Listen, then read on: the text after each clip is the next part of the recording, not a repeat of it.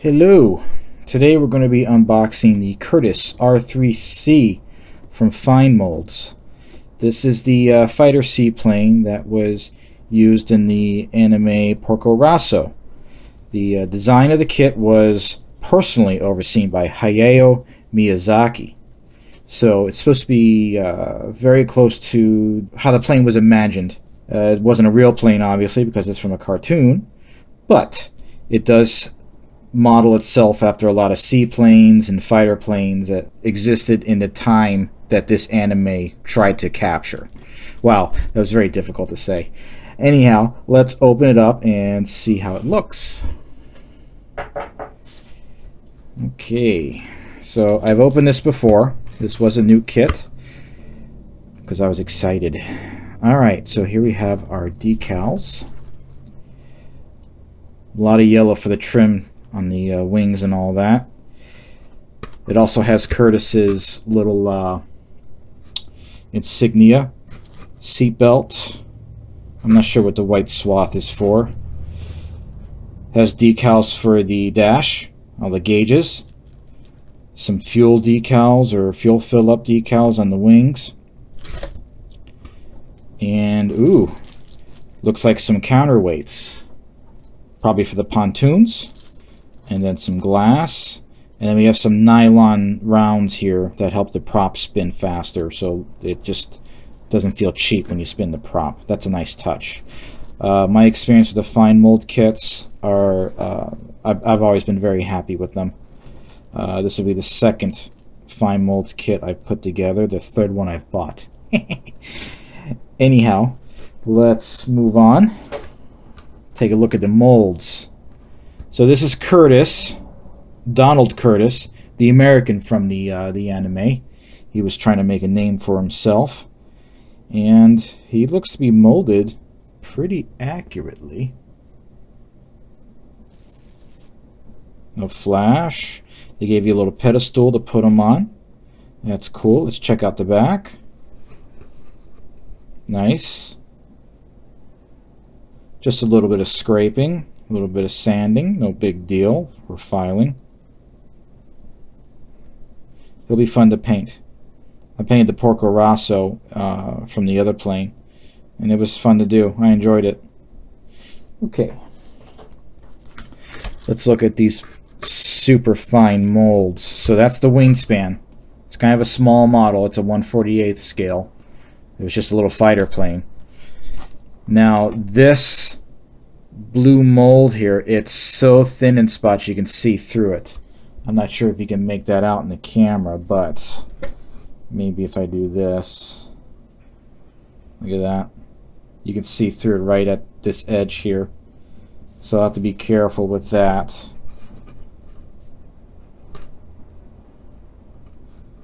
I mean, these are detailed molds. You got this, the metal stress and the flaps here. It's all there. Very nice. Now it's so thin you can almost see some pin marks on the other side. These two circles here. If you flip it, if you hold it in just the right light, you can see them. There you go. Maybe you see it that way.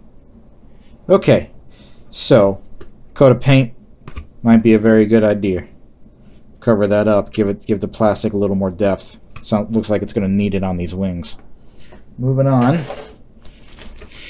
Okay, mechanicals, engines, the actual pilot. You see how small he is compared to the figure they give you. They are not to scale.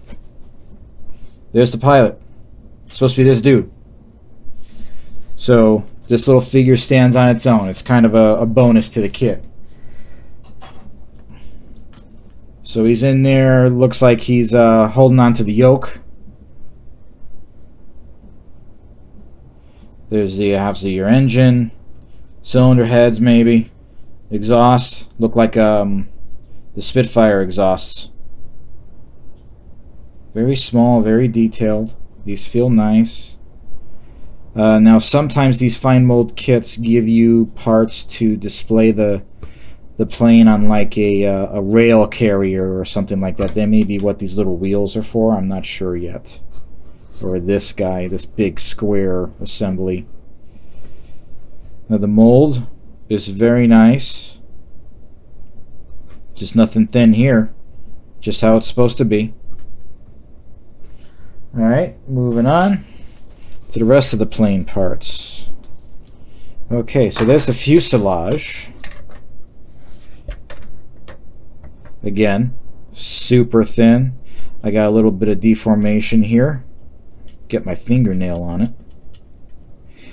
Here are his little gun pods. Look at that, that's pretty good.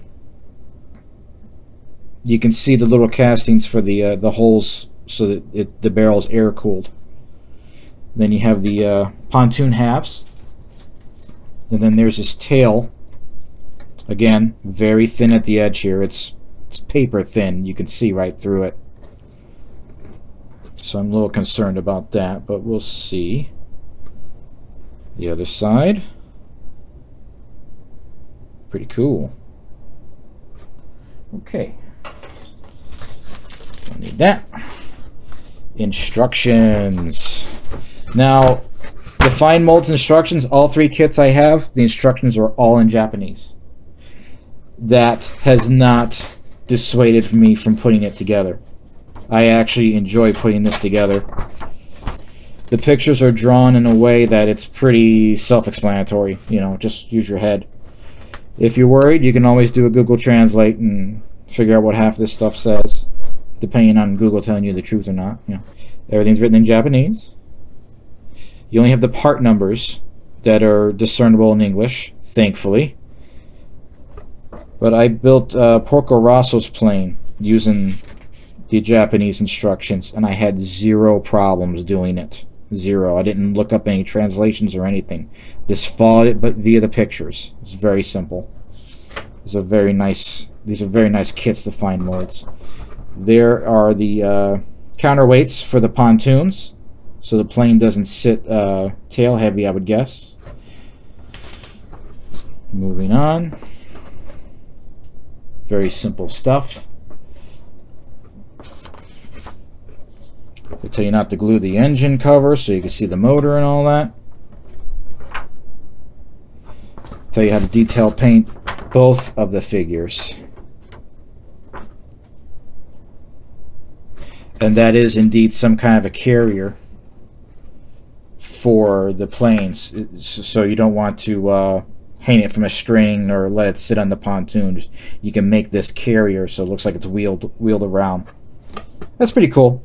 The uh, Porco Rosso plane did that too. I did not build that for the Porco Rosso plane. The Savoia, if I remember right.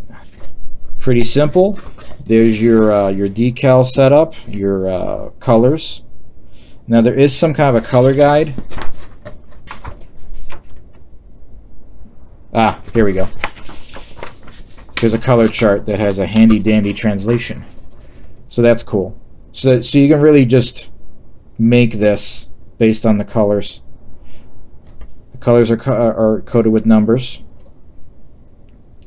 So let's see, number 65, 65 here, 65 here, Indy blue, which is about right.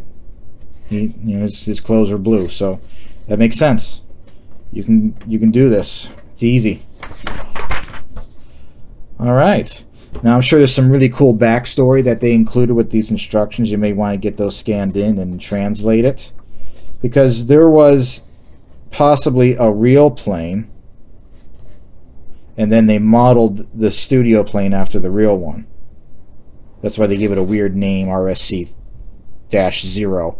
Zero is like a prototype number or something like that. Pretty cool. Interesting history.